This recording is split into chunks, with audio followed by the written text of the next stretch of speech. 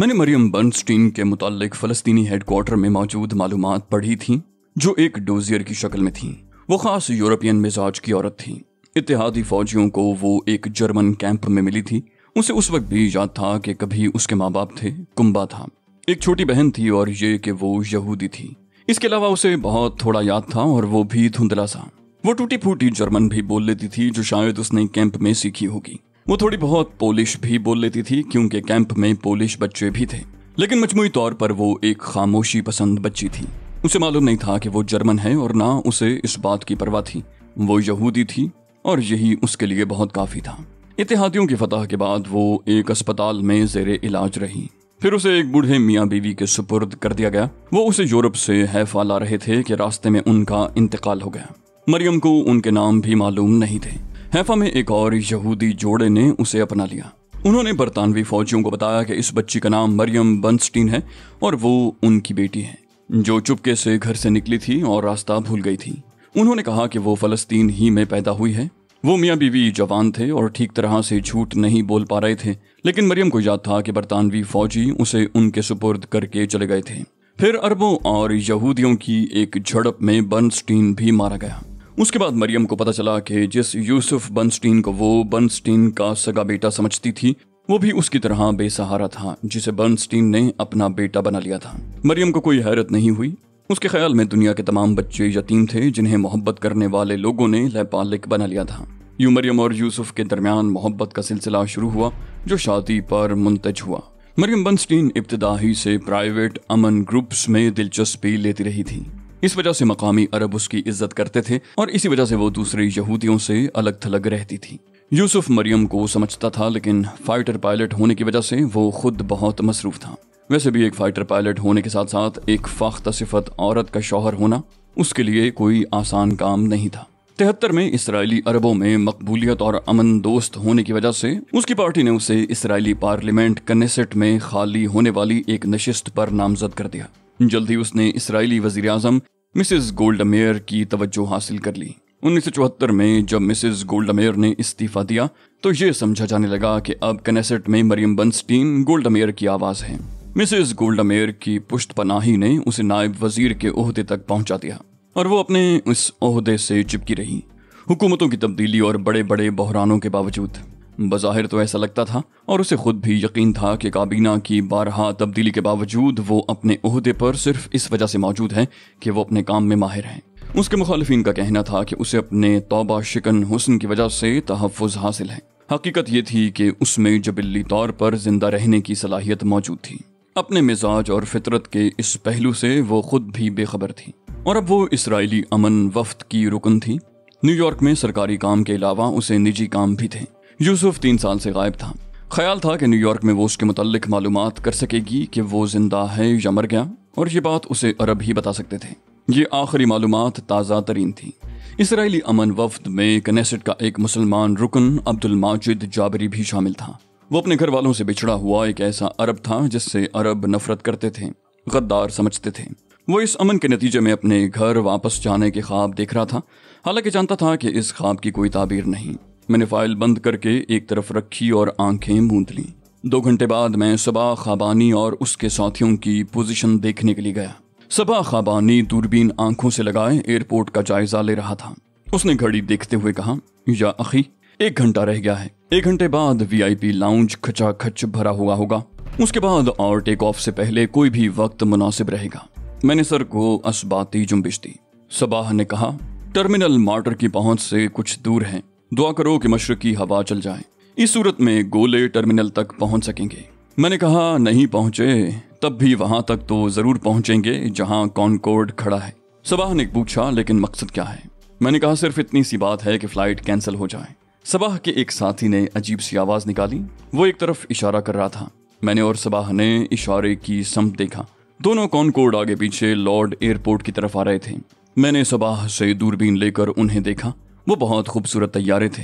मैंने सबाह को दूरबीन वापस देते हुए कहा, दोनों तैयारों में मिलाकर ढाई लाख किलोग्राम फ्यूल है। इसके ज़ोर पर तो इतना बड़ा धमाका हो सकता है कि यरूशलम भी लर्ज उठेगा। फिर मैं अपने गौर की तरफ़ चल दिया। जाबिर ने मुझे बताया कि लॉर्ड एयरपोर्ट के कॉन्फ्रेंस रूम में अभी तक कोई सरगर्मी शुरू नहीं हुई है। डक्टा फ़ोन भी खामोश है। मैंने इस बार जैकब हैसनर का डोजियर संभाला। अब वो लॉर्ड एयरपोर्ट सिक्योरिटी फोर्स का चीफ था। वो यहूदियों की उस जनरेशन से ताल्लुक रखता था जो हिटलर के ताकत में आने से पहले ही जर्मनी से निकल आए थे और फलस्तीन में आ बसे थे। उसके नतीजे में वो यूरोप में होने वाली तबाही से महफूज रहे थे। वो अपने साथ सरमाया भी लाए थे और हुनर भी। वो तमाम के तमाम आला तालीम याफ्ता थे। उनमें से पेशतर हैफा में आबाद हुए। दूसरी जंग अजीम शुरू हुई तो सत्रह साल जैकब हैसनर ने British secret intelligence service join कर ली। यही वजह थी कि उसका अपना स्टाइल अब भी बरतानवी सीक्रेट सर्विस का सा था। दूसरे जंग के दौरान उसने महज शौकिया तौर पर यह काम किया, वरना वो बेहद खुशहाल था। देखने में वो कहीं से भी जासूस नहीं लगता था और यही खूबी उसकी कामयाबी की जामन थी। हैफा से बाहर वो जर्मन होने का दावा करता तो उस पर कोई भी शक नहीं कर सकता था। उसका जहन जुजियात जमा करने और उन्हें महफूज रखने का माहिर था। दोहरी ज़िंदगी गुजारना आसान काम नहीं होता, लेकिन उसे ये काम बेहद दिलचस्प लगता था। इस दौरान फुर्सत के अयाम में बोरियत से बचने के लिए हैसनर ने एक प्राइवेट फ्लाइंग क्लब ज्वाइन कर लिया था। अब वो फलस्तीन के चंद गिने चुने लाइसेंस याफ्ता पायलट्स में शामिल था। जंग के बाद वो यूरोप गया और उसने गैर कानूनी हगाना एयरफोर्स के लिए जंग से मुतासर तैयारे खरीदे। वो पहला ब्रिटिश स्पिटफायर उसी का खरीदा हुआ था, जो जनरल लास्कोफ ने उड़ाया था। सो इस खूबी की बिना पर कि वो बुनियादी तौर पर इंटेलिजेंस का आदमी था और जहाज़ भी उड़ा सकता था, उसे एल का पहला सिक्योरिटी चीफ मुकर कर दिया गया। दूसरे यहूदियों के बरक्स उसने बहुत सहल ज़िंदगी गुजारी थी। हर जिया में उसका एक छोटा सा बंगला था। वो नहायत ऐश परस्त आदमी था। औरत उसकी कमज़ोरी थी। अपने घर वालों से वो इस हद तक वफादारी निभाता था कि मजहबी त्योहारों के मौके पर हैफा अपने घर ज़रूर आता था। वो अंदाजे लगाने और खदशे पालने का कायल नहीं था। अपने मुल्क की इंटेलिजेंस पर उसे बहुत ज़्यादा नाज था। अचानक जाबिर ने मुझे चौंका दिया। ब्रदर ब्रदर कॉन्फ्रेंस शुरू हो रही है। मैं उठा और रिसीवर सेट की तरफ़ पड़ गया। इस कॉन्फ्रेंस में बहुत अहम लोग शरीक हो रहे थे। इनमें शिनबैथ इसराइल की इंटरनल सिक्योरिटी सर्विस का सरबरा शाइम माजर था। ब्रिगेडियर जनरल इसहाक सुलेमान था, जो एयरफोर्स का चीफ ऑपरेशंस था। आर्मी चीफ ऑफ़ स्टाफ की नुमाइंदगी जनरल बेंजामिन डुबकिन कर रहा था। ट्रांसपोर्ट की नायब वज़ीर मरियम बंस्टीन थी। इंसदाद दहशत गर्दी ग्रुप का सरबरा आइजक बर्ग भी था। मरियम बंस्टीन के अलावा कनेसेट के पाँच अरकान और भी थे। ये तमाम लोग दरअसल उस एड हॉक कंपनी में शामिल थे, जो कॉनकोड तैयारों के हिफाजती इंतज़ाम का जायजा लेने के लिए बनाई गई थी। इस सिलसिले में उन्हें जैकब हैसनर से सवाल करने थे। रिसीवर सेट पर जैकब हैसनर की आवाज़ उभरी। मैं इस मीटिंग में इसलिए शरीक हो रहा हूँ ताकि आप लोगों को कायल कर सकूँ कि लॉर्ड एयरपोर्ट से किसी भी तैयारे की महफूज परवाज के इंतज़ाम करने की अहलियत रखता हूँ। कई एहतजाजी आवाज़ें सुनाई थी हैसनर का मूड यकीनन खराब था। बोला, चलें, मेरे इस जुमला मोतरजा को नज़रअंदाज कर दें। मैं जानता था कि हैसनर के गार्ड्स ने दोनों तैयारों को चारों तरफ़ से घेर रखा होगा। इसके बावजूद आर्मी ने इन्फेंट्री के दस जवान तैयारों की हिफाजत के लिए भेज दिए थे। ये बात हैसनर के लिए अहानत आमेज थी। हैसनर की आवाज़ उभरी। आप लोगों को मालूम है कि इसराइली एयरलाइन एल एल नुकसान में जा रही है। इसकी वजह जानते हैं आप? कहने को हम तमाम मुसाफिरों से फ़र्स्ट क्लास का किराया लेते हैं। बीस फ़ीसद सरचार्ज उसके अलावा है। होना तो मुनाफा चाहिए, लेकिन नहीं हो सकता।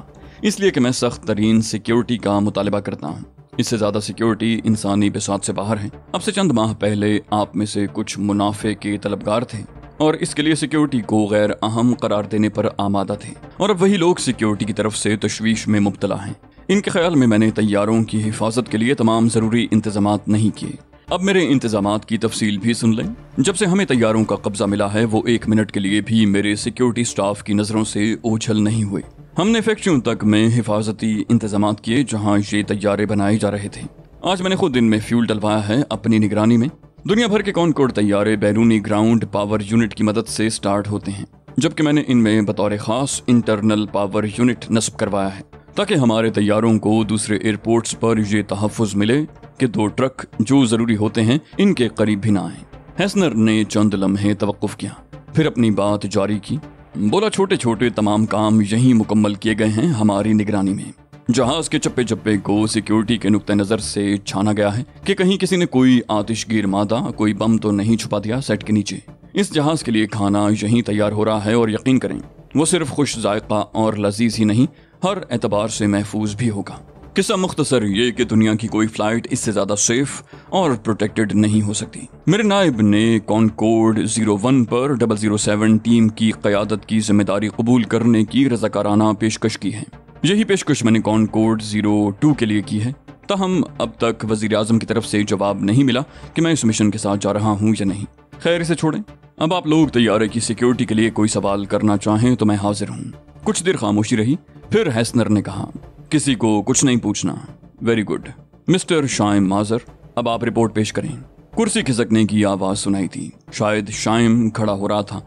उसकी तस्वीर मेरी आँखों में फिर गई। वो तवील कामत और दुबला पतला था। उसकी आँखें आर पार देखने का भरपूर तासुर देती थीं। उसके अंदाज की बदतमीजी से लोग नाला रहते थे। उस वक्त भी उसने बिला तमहीद बात शुरू की। बोला, इस वक्त फ़िक्र है तो सिर्फ़ ऐसे किसी जुनूनी की जो हरारत पर लपकने वाला मिसाइल लिए किसी छत पर खड़ा होगा और वो छत यहाँ से साहिल तक दरमियान में किसी जगह भी हो सकती है। लेकिन मैं तुम लोगों को यकीन दिलाता हूँ कि ऐसी कोई बात नहीं है। पूरी फ़्लाइट के दौरान कहीं किसी भी छत पर किसी जुनूनी को ऐसा कोई मौका नहीं मिलेगा। मैंने वज़ीर दिफा से बात करके फ़्लाइट के रास्ते में मुख्तसर फजाई मशकों का इंतज़ाम करा दिया है। इस पूरे इलाके में हेलीकॉप्टर मौजूद होंगे। इसके अलावा इस पूरे इसराइल में कहीं गोरीला सरगर्मियों की कोई अलामत नज़र नहीं आ रही। मुझे एतमाद है, यकीन है कि आपकी राह में कोई दुश्वारी नहीं आएगी। थैंक यू हेसनर ने कहा, अब मैं मिस्टर आइजक बर्ग से दरखास्त करूँगा। आइजक बर्ग के तमाम बाल सफ़ेद थे। वो पस्ता कामत था, उसकी शख्सियत बावकार थी, लेकिन वो महज धोखा था। जो कुछ नज़र आता था, वैसा नहीं था। उसकी उम्र भी इतनी ज़्यादा नहीं थी जितनी लगती थी। उसकी नीली आँखों में बला की चमक थी। वो किसी इंसान को यूँ कत्ल कर सकता था, जैसे किसी लाल बेग को बेपरवाही से जूते के नीचे दबाकर कुचल दिया जाता है। उसने पूरी दुनिया में फलस्तीनी गोरीलों को खत्म करने का अहद किया था, और इस सिलसिले में बहुत मौसर तरीके से काम भी करता रहा था। उसके एजेंट भी बेहद शफाक थे। आइजक बर्ग दर हकीकत लबनान में फलस्तीनी मुजाहिदीन के कत्लेआम का जिम्मेदार था। आइजक बर्ग की आवाज़ रिसीवर सेट पर उभरी। गुजश्ता रोज हमने पेरिस में एक फलस्तीनी गोरीले को पकड़ा। वो ब्लैक सितंबर तंजीम का बहुत अहम रुकन रहा है। हमने उससे पूछगिछ की, उसने हमें यकीन दिलाया कि कम अज कम उसके इल्म में ऐसा कोई मंसूबा नहीं है जो हमारे अमन मिशन को रोकने के लिए बनाया गया हो। गोरीले इस बुरी तरह मुंतशिर हुए और इतने बेएतमाद हो चुके हैं कि अब एक दूसरे से भी बात करते हुए डरते हैं। मगर हमारा एक आदमी जो फलस्तीन इंटेलिजेंस सर्विस का अहम रुकन है, उसका कहना है कि अमन मिशन के खिलाफ कोई मंसूबा जेर गौर तक नहीं आया। दूसरी तरफ़ हम ये भी जानते हैं कि हमारी तरह अरब ममालिक भी इस कॉन्फ्रेंस की कामयाबी के दिल से खां हैं। उन्होंने मुख्तलिफ़ जरियों से हमें मुतला किया है कि वो अपने इलाकों में गोरीलों पर बतौर खास नज़र रखे हुए हैं। सी आई ए ने भी यकीन दिलाया है कि कहीं कोई गड़बड़ नहीं। सी आई ए के मिस्टर मैकलेवर छुट्टी पर जा रहे हैं। वो हमारे साथ ही सफ़र करेंगे। हैसनन बोला, मिस्टर बेंजामिन डोपकिन डोपकिन ने कहा, पसमानदा ममालिक के दूर दराज के इलाकों में कुछ भी हो सकता है। ये मसला हमेशा से है। अब भी है और रहेगा कि गोरीले कहीं भी छुपे हो सकते हैं और कुछ भी कर सकते हैं। इसराइली फौज ने उनका सफाया कर दिया है। बाकी काम अरब फौजों ने पूरा कर दिया, लेकिन जहाँ मौजूद दूसरे दोस्तों के बरक्स, फौज किसी गोरीला कार्रवाई के इम्कान को यकसर मुस्तरद नहीं कर सकती। सरजमीन अरब के दुशवार गुजार सहराओं और पसमानदा इलाकों में मुट्ठी भर गोरीलों की मौजूदगी से तो इनकार नहीं किया जा सकता। हमारी इंटेलिजेंस के अफराद अरबों के भेस में ऐसे इलाकों को खंगालते रहते हैं। अरब ममालिक ने भी यकीन दिलाया है कि वो बचे कुचे गोरीलों से भी पीछा छुड़ा सकते हैं। शाह माजर ने पूछा, मिस्टर डोपकिन ये बताएँ कि ये बच्चे कुछ गोरीले अगर हमारे अमन मिशन के खिलाफ कार्रवाई करेंगे तो वो किस तरह हो सकती है? डॉपकिन ने कहा, हम समंदर और फजा की तरफ़ से फिक्रमंद हैं। ताहम नेवी ने हमें यकीन दिलाया है कि बहिरा रोम में कॉनकोड तैयारों की परवाज के रास्ते पर नेवी की पेट्रोलिंग जारी रहेगी। अमेरिका का छठा बहरी बेड़ा भी अलर्ट है। नेटो की मशकें भी शुरू करवा दी गई हैं। इसके अलावा कॉनकोड जिस बुलंदी पर, जिस रफ्तार से परवाज करेंगे, उन्हें समंदर से निशाना बनाना जिन जदीद मिसाइलों के लिए मुमकिन हो सकता है, वो तटपूंजीय दहशत गर्दों को मैसर नहीं, और ना वो उन्हें ऑपरेट कर सकते हैं। और अगर ये मुमकिन भी है तो वो कॉनकोड के एयरफोर्स के मुहाफिज तैयारों से नहीं बच सकेंगे। ठीक है ना, जनरल तलमान? अब रिसीवर सेट पर जनरल आइजिक तलमान की आवाज़ उभरी। बोला, मेरा बेहतरीन फाइटर ऑफिसर जनरल लास्कोफ खुद मुहाफिज स्कॉटन की क्यादत करेगा। स्कॉटन के तमाम पायलट्स हमारी एयरफोर्स की क्रीम हैं। टेडी लास्कोफ का कहना है कि वो आसमान पर नज़र आने वाली हर चीज़ को न सिर्फ़ ढूंढ निकालने, बल्कि मार गिराने की अहलियत रखता है। एयरफोर्स इंटेलिजेंस का कहना है कि गोरीलों के पास फजाई हमले की अहलियत कभी नहीं रही। अब भी नहीं है, और इन कॉनकोर्ट्स पर नाकाम हमले के लिए भी बहिर रोम का बेहतरीन स्कॉटन दरकार होगा। मुझे टेडी लास्कोफ पर पूरा पूरा एतमाद है और मैं बगैर किसी हिचकिचाहट के हर तरह की ज़िम्मेदारी कबूल करता हूँ। मिस्टर हैसनर, ये मरियम बर्नस्टीन की आवाज़ थी। वो बोला, जी, फरमाइए। मरियम ने कहा, मैं भी कुछ कहना चाहती हूँ। यहाँ जो कुछ कहा गया है, मैंने पूरी तवज्जो से सुना। आप लोगों ने सिक्योरिटी के मुतालिक गुफ्तगु जिस जबान में की और जिस जज्बे से की, मैं उसकी तरफ़ से फिक्रमंद हूँ। ये ना भूलें कि हम अमन मिशन पर जा रहे हैं। हमारा मकसद कयाम अमन है। यहाँ हर उड़ाने वाली चीज़ को मार गिराने की बातें हो रही हैं। बताया जा रहा है कि हम अरब ममालिक में जासूस भेजते रहे हैं और वहाँ हमारे जासूस अब भी मौजूद हैं। मुमकिन है ये सब कुछ किसी तरह के हालात में जायज़ करार दिया जा सके, लेकिन इस तारीखी लम्हे में मैं गैर जारहाना तर्ज अमल का खतरा मोल लेने को तैयार हूँ।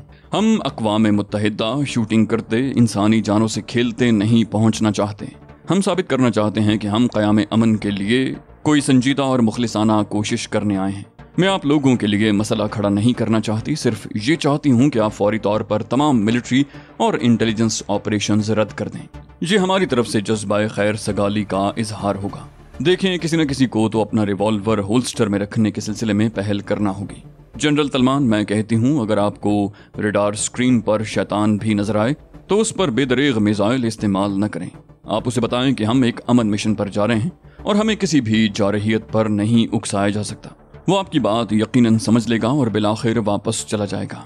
मैं जानती हूँ, हम में ऐसे लोग भी मौजूद हैं कि जो कुछ उन्होंने खून के इवज हासिल किया है, उसे अमन की मेज पर वापस नहीं देना चाहते। मैं उनका नुक़ नज़र समझती हूँ। मैं जानती हूँ कि हर कीमत पर अमन के फलसफे के क्या मुजमरात हैं। लेकिन मैं उम्मीद करती हूँ कि आप मेरी बात पर गौर करेंगे। रिसीवर पर ऐसी खामोशी छा गई जैसे कभी कोई आवाज़ उभरी ही नहीं थी। मैं लॉर्ड एयरपोर्ट के कॉन्फ्रेंस रूम के सुकूत का तस्वुर कर सकता था। फिर अचानक भांत भांत की आवाज़ें सुनाई देने लगी। कॉन्फ्रेंस खत्म हो गई थी। मेरे इशारे पर जाबिर ने रिसीवर ऑफ़ कर दिया। मरियम बंस्टीन की बातों में खुलूस था, सच्चाई थी। लेकिन तमाम यहूदी ऐसे नहीं होते। दो चार ही हों तो बहुत हैं।